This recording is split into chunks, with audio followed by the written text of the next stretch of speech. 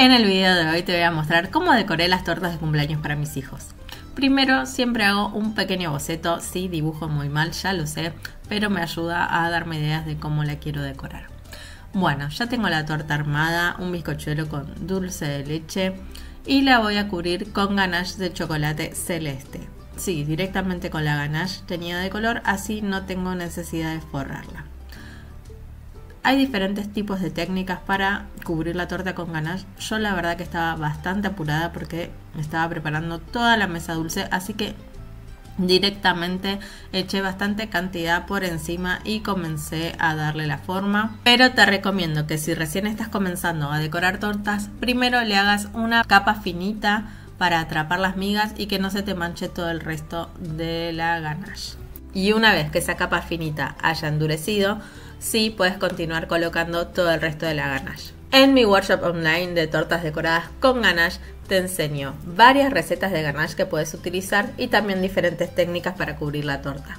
Las dos tortas las cubrí con el mismo color de ganache, las dejé enfriar en la heladera de un día para el otro y ahora que ya está fría la estoy emprolijando con un cuchillo bien filoso, liso, un cuchillo de oficio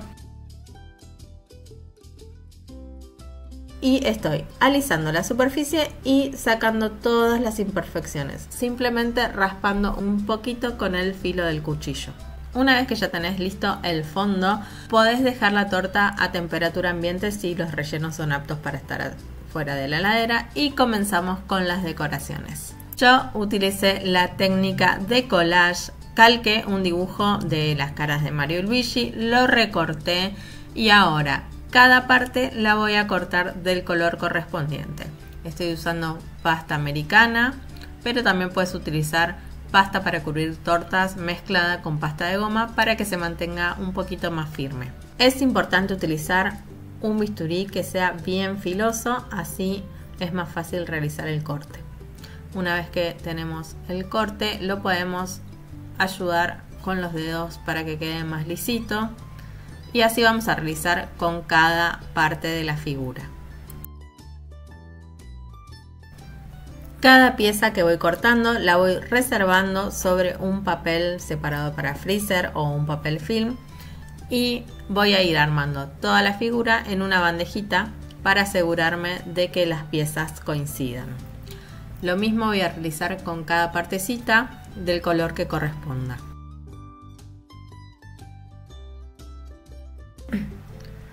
Primero solamente ubico las piezas y le voy dando la forma. Yo prefiero dejarlas sin cubrir para que vayan secando y tomando un poquito más de consistencia y luego que tengo ya todas las partes, recién ahí voy a comenzar a pegarlas.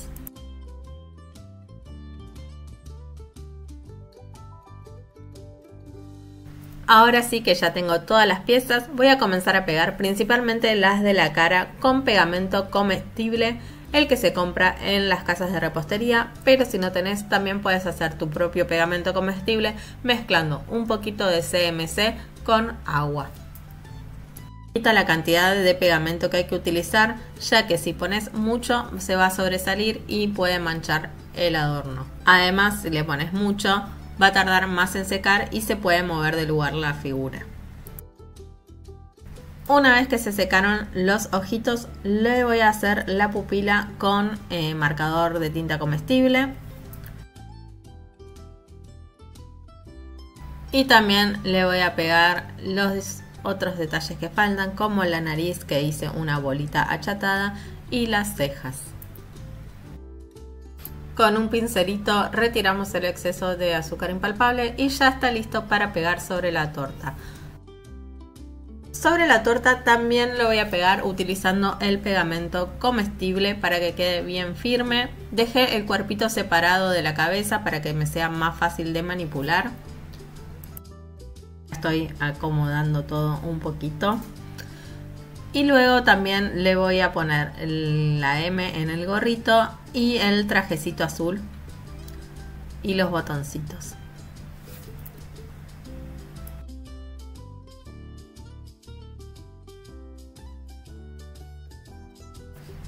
De la misma forma voy a pegar a Luigi en la otra torta. Y ahora te voy a contar también cómo hice el resto de los adornos. Para arriba de la torta preparé cartelitos con el nombre de mis hijos, Super Manu y Super Guille, y el número 5. Estoy utilizando estos cortantes de letra y número de metal chiquititos. Corté de los colores del logo de Super Mario y los pegué sobre el fondo negro.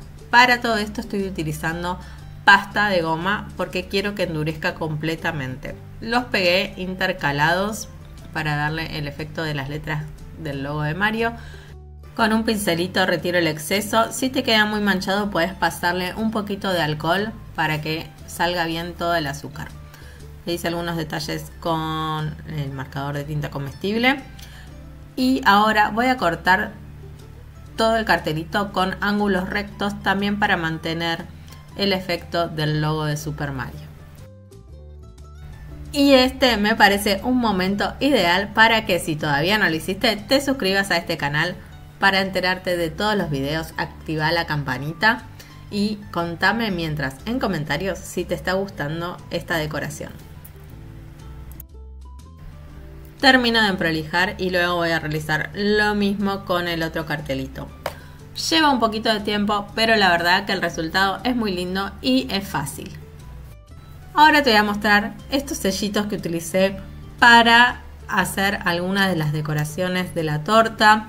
Algunos simplemente los corté en pasta de goma y los pinté a mano y otros directamente los corté del color correspondiente. Como la planta carnívora tiene varias partes, decidí pintarla con colorantes diluidos en alcohol. Esto es otro de los adornos. Y para pegarle los palitos utilicé chocolate blanco por detrás y los dejé secar. Así quedaron los adornos para pinchar en la torta y en los laterales utilicé adornitos de pasta de modelar hechos con ese molde. Algunos los pinté a mano, como ves acá, los honguitos ya que tienen dos colores. Y otros los hice directamente del color correspondiente. Los pegué todos en la torta con el pegamento comestible como ya hicimos con las figuras grandes. Y así quedaron las tortas.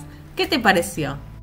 Déjame en comentarios si te gustó esta idea, si la vas a utilizar de inspiración. Y ahora te muestro cómo quedó toda la mesa dulce donde utilicé los mismos cortantes y sellitos para decorar todos los dulces. K-Pops, Oreos bañadas en chocolate, alfajorcitos. Por suerte a mis hijos les encantó. ¿Hay algo más que te gustaría que te muestre? Espero que te haya servido mucho y te cuento que Mario no pasa nunca de moda, así que espero que en algún momento lo puedas utilizar. Te espero en el próximo video.